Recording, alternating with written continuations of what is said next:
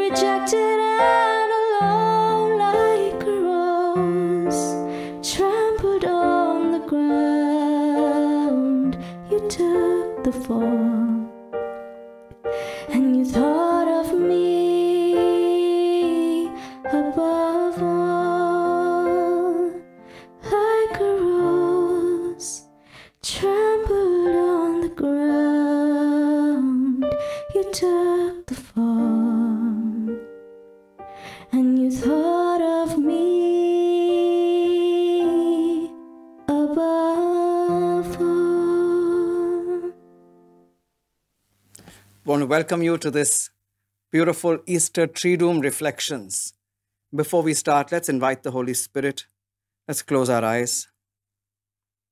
We pray together. You can repeat after me. O my Jesus, direct my mind. O my Jesus, possess my being. O my Jesus, envelope me in the depths of your heart. O my Jesus, defend me from the assaults of the enemy. O my Jesus, my only hope is in you. O my Jesus, speak to my heart, that every word that I hear will be you speaking to me, that my heart be open to receive your word. We make this prayer through Christ our Lord. Amen. I first invited you to close your eyes and pray. Now I'm going to invite you to close your eyes and do something a little bit mischievous. So I invite you, close your eyes. And now picture this beautiful chocolate cake. And on top of this chocolate cake, there is a rich, creamy layer of icing. Delicious. And then on top of that, there is a cherry. Lovely, juicy. You can open your eyes now. Well, I know I'm not supposed to tempt you when most of you are fasting and most of us are entering this time uh, of, of Lent and the pinnacle of that, which is the Easter Triduum. But in some ways, this chocolate cake represents the whole year, the whole liturgical year. And this beautiful cream top represents the season of Lent. And then that cherry on the top of the icing of the cake is the Holy Week. And within that, the pinnacle is the Easter Triduum. And so, as we come today on Maundy Thursday to reflect on the beautiful feast that we celebrate today, the institution of the Eucharist, the institution of the priesthood, a new commandment that Jesus gives us. It's a wonderful day in the church history. It's a wonderful day in the liturgical year. But above all, it's a wonderful day for your and my transformation. Because finally, all of it leads to us becoming more like Jesus. And so today, Mother Church gives us a beautiful opportunity to reflect and to see how am I called to become more like Jesus? And therefore, when we started, we talked about chocolate cake and food, and you'll say, but why food when we are all supposed to fast? And right, you should. But again, food is something that Jesus used right through his ministry, and it culminates today in this feast that we celebrate of the institution in the Eucharist. So let's go back and look at the various types of food that Jesus talked about. And Jesus, in a way, introduced his first miracle, as John calls it, the first sign. That's quite interesting. The other synoptic uh, evangelists, the Gospels, call it miracles, and they talk about the various miracles Jesus did. And John doesn't use the word miracle, John uses the word sign, as sign as in something pointing. And for John, the miracle is not an end in itself, but it is to point to the divinity of Jesus, to point to who Jesus is, to point to something even deeper. And so, in that first miracle, John introduces Mary and Jesus. Do whatever he tells you. Mary tells the disciples. And then Jesus turns water into wine. That beautiful first sign is a symbol of the new Eve going to the new Adam, that union of the new Eve and the new Adam giving us the rich wine, prefiguring all the many graces that come from the Eucharist. And so the wine is something that is very rich. And as we see today, that is symbolizing the rich love, the grace, the bounty that God gives us in Christ. And then in John chapter 6, John introduces us to that beautiful expanse of bread.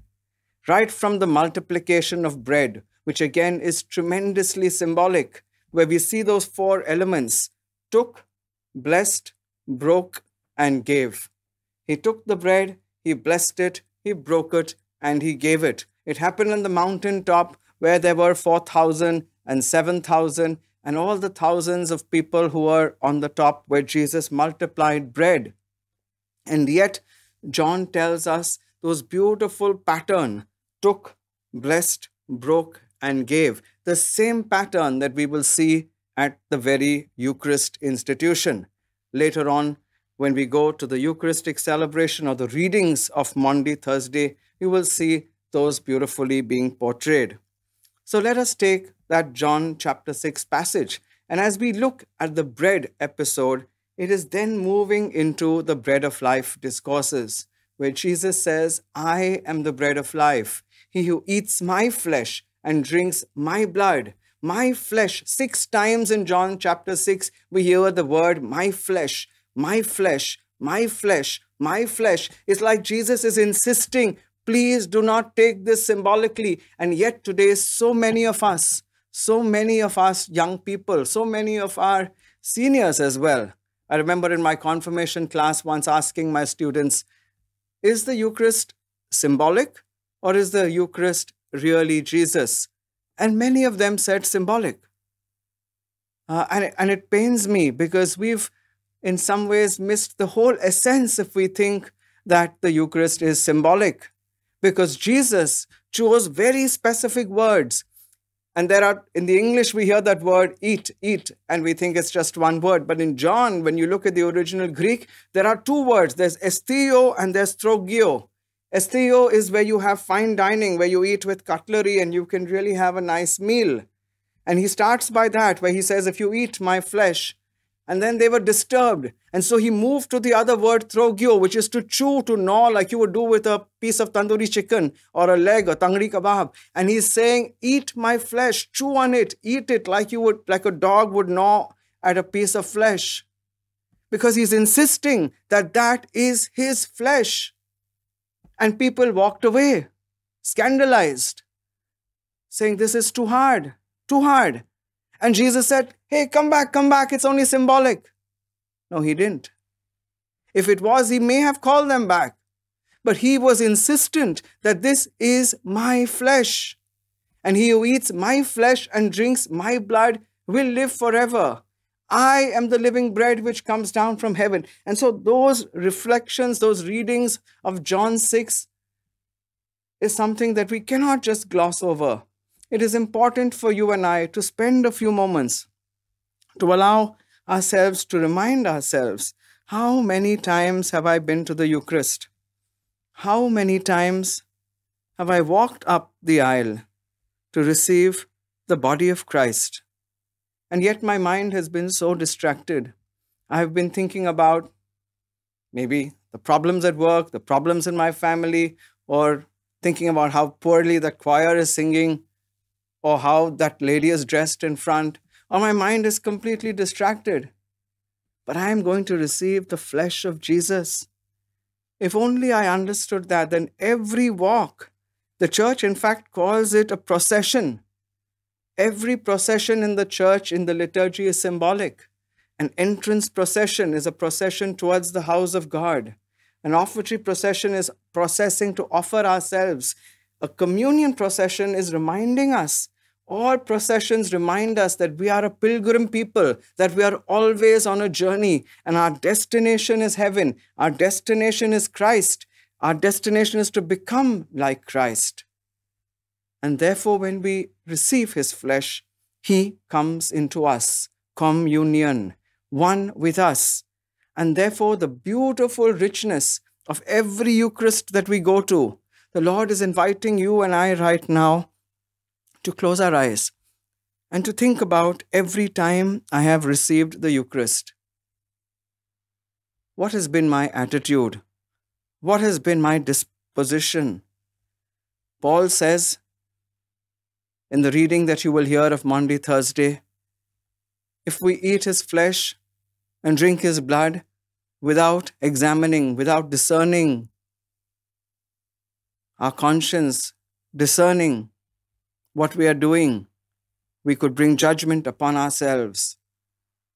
But we like to gloss over that because it's hard. And yet, you and I are called to come before the Lord, to prepare our hearts. And so, let us spend a minute in silence bringing to mind the times that we have received the Eucharist in an unworthy manner. Many times, many times, we've been late for Mass, we've been distracted, and the Lord is here to forgive us. Make a resolution that the next time I go to the Eucharist, I will truly experience His flesh entering mine, his body, his blood, communing with mine.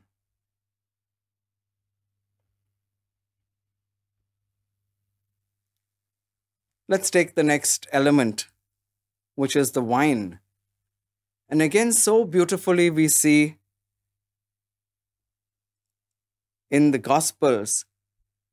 And it's a tricky one here because if you really read carefully, you'll see Matthew and Mark talk about the bread and the cup. And if you see Luke, there are actually two cups that are there. And it's quite confusing. And you may wonder, if you've paid attention before, you may wonder, why are there two cups? Because in Luke, if you read in Luke 22, verse 14 onwards, it said, When the hour came, he took his place at the table and the apostles with him, he said to them, I have eagerly desired to eat this Passover with you before I suffer. For I tell you, I will not eat it until it is fulfilled in the kingdom of God. Then he took a cup, and after giving thanks, he said, Take this and divide it among yourselves. For I tell you that from now on I will not drink of the fruit of the vine until the kingdom of God comes. Then he took a loaf of bread, and when he had given thanks, he broke it and gave it to them, saying, This is my body, which is given for you. Do this in remembrance of me. And he did the same with the cup after supper, saying, This cup that is poured out for you is the new covenant in my blood. So, cup, bread, cup. How many of you have noticed this before? We're so used to every day at Mass, there's the bread and there's the cup. And you're not wrong because Matthew and Mark have that order. But Luke has cup, bread, and cup, which immediately makes us think what is actually happening? And if you were a Jew in the first century, this would have been absolutely commonplace for what's happening. Why are there two cups? In fact, any Jew would know that there were four cups. At that time, every Passover celebration had four cups. The names of those are a bit complicated, but it's worth knowing them because it's, it's interesting to know. The first cup, which is known as the Kiddush cup, it is the introductory or the sanctifying cup. It is the first and at the start of the Passover meal, which is also known as the Seder or Seder. The second cup, which is the Haggadah cup, this is the cup of proclamation. It tells the story of what God did for Israel. The third cup is the Berakah cup. This cup follows the grace after meals. And it's a blessing, a cup of communion, a cup of praise. And finally, it is the Hallel cup or the fourth cup, which is the great praise, the grand Hallel and uh, the dispersion. Does this ring a bell? Introductory and sanctification, proclamation, communion, and then the great Hallel and dismissal. You're right. Every Mass has these parts where you come with the introductory and the sanctification, where we take the holy water, we anoint ourselves, we say, Lord of mercy, Christ of mercy, Lord of mercy, we sanctify ourselves. Then there is the great proclamation, which have the readings, and then there is the offertory and the consecration, which is the cup of blessing which we raise, which is the psalm that is often taken during Maundy Thursday. And finally, the great Hallel, which is communion with God, which is communion with His people and going out uh, to God in His people. And so, if you were a Jew and you were reading Matthew, who is written to you, you already know when when Matthew writes, and Matthew's writing is very interesting. Matthew chapter 26, verse 26 says, While they were eating, Jesus took a loaf of bread and after blessing it, he broke it and then the cup. While they were eating. And we would not even think twice. Uh, we would continue reading. But a Jew, when he saw those words while they were eating, instinctively knew two cups are over because they did not eat when the first cup was being drunk. The first cup was the introductory cup, the first cup was the sanctifying cup, and so the meal began with the first cup. While they were eating is when the second cup comes into play. While they were eating, the youngest had to ask the oldest, What is this celebration all about? And then the tradition says that the oldest would talk about the Passover and how God brought his people out of Egypt and how through his mighty hand and his strong arm, Moses through his servant Moses, God was able to deliver his people. And he would take them through the account of the Passover, of the lamb that had to be slain, of the blood that had to be put on the doorposts, of the bitter herbs that had to be eaten, the flesh of the lamb that had to be eaten, and how they ran in haste. So all of this was explained, and how Pharaoh chased them through the Red Sea, and how uh, Pharaoh and his horses uh, were caught there, and how God took his people onto dry ground safely. All of this happening during the second cup. And then they would take the third cup, which is the cup of blessing. So Luke gives us two and three, cups number two and cup number three. Matthew and Mark give us cup number three. While they were eating, Jesus took the cup. And it's very beautiful because he is really enacting that beautiful Passover. And without the Passover, which prefigured the Easter Triduum that we are celebrating, the Jews did not experience God's hand, and you and I, which that event pointed to, are now able to enjoy the fruit of the true paschal mystery. Pesach or Pascha, these are all words for passing over from death to life, from slavery to freedom, from doubt and, and distress to faith and joy. And these are gifts of the Easter uh, people that we have. And therefore, the great Hallel is our song. And so you're getting a clue into these beautiful four cups and how the Lord is giving us uh, an insight into the richness of the Eucharist. So let's look at it a little more. So, in the first cup, as they drink it, they are sanctifying themselves, introducing themselves. In the second cup, the youngest asks the head of the family, What are we doing this for? Why are we doing this? And very strangely, in the Gospels, the youngest asked the head a question. If you remember, they pointed to John and said, Ask the master, who is it who is going to betray you? And John, who was leaning on the breast of his master, asked a question. And so it's so uh, the prefiguration of the asking of the question by the youngest to the head. Jesus was the head of that household, in a sense, of his apostles, and he asked that question. And so while they were eating, Jesus took the bread and he offered it and he said, This is my body. And then he came to the third cup. Now, this in some ways is like the main course in the meals. You have different things to eat. You had the bitter herbs, you had all of that being done. And Jesus says, This is the cup of blessing. He took it, blessed it, and gave it to them. The cup of blessing or the Berakah cup. And when he finished, and again it's quite interesting, when they had sung the hymns, they went out to the Mount of Olives. Sacrilege! Sacrilege. If you were a Jew at that moment, it would be sacrilege. How can you leave the meal incomplete? How can you finish only three cups and go before the fourth cup? That was not the Passover meal.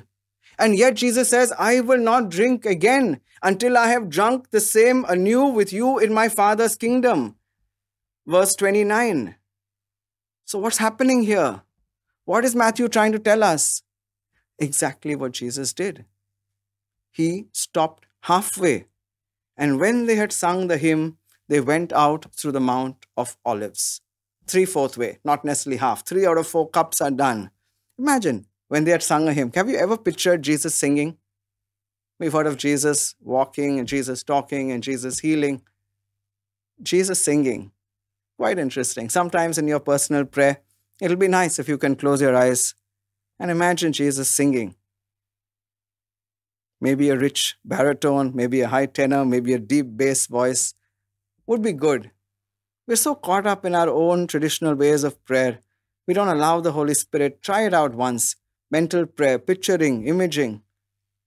St. Ignatius of Loyola encouraged his sons to use this prayer form of mental prayer, of imagination, praying with the mind, praying with the imagination.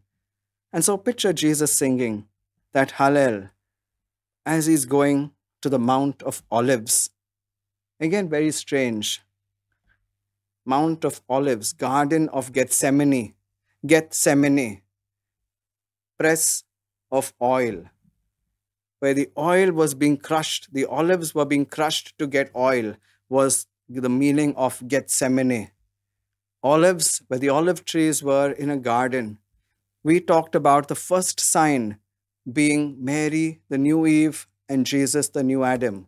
And now we go to another garden of Gethsemane. And then Jesus will go to another garden of Calvary. And so the Holy Spirit is situating us back in the garden where it all began, back in a garden where the disobedience of man led to his fall, back into a garden. And we are going to see tomorrow how that fourth cup will be drunk. Is that the fourth cup that's going to be drunk when Jesus is praying in Gethsemane? Is that the fourth cup that will be drunk when they put a hyssop to his mouth? Let us see tomorrow.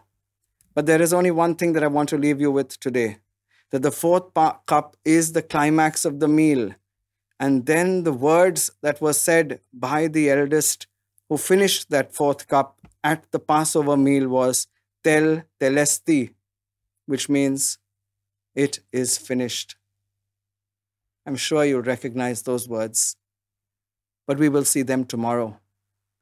For now, let us come back and situate ourselves. Close your eyes and situate yourself in that upper room where Jesus is looking at his disciples.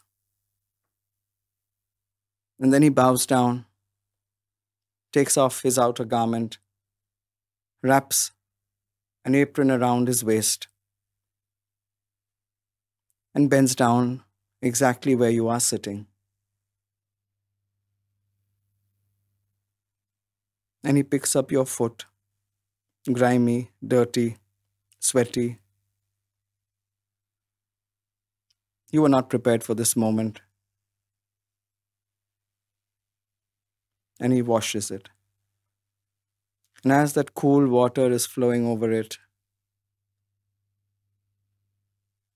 the Holy Spirit's reminding you of your baptism, the choice that Jesus made for you, even before you were put in a position to make a choice for Him. And He is wiping it, wiping away every sin, wiping away every fault, wiping away every brokenness. And then He kisses it.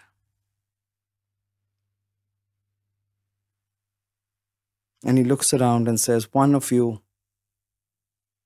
will betray me.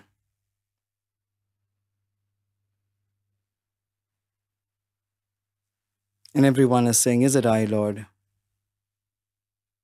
But your eyes do not meet his.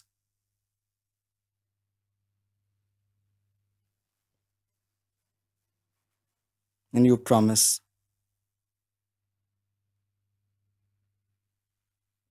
Lord, help me never to betray you. Help me never to let you down. I am weak, Lord, but your grace is sufficient for me. Thank you, Lord, for loving me. In the name of the Father, and of the Son, and of the Holy Spirit. Amen.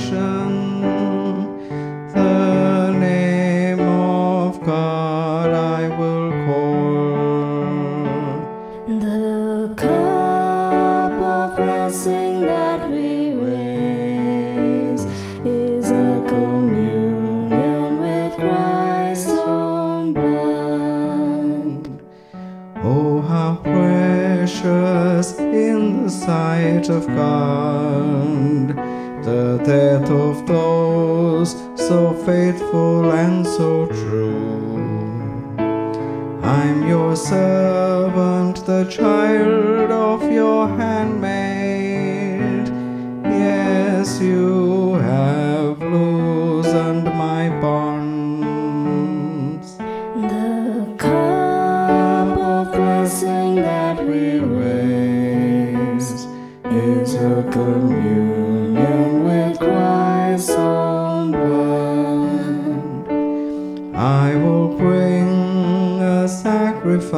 of praise, and I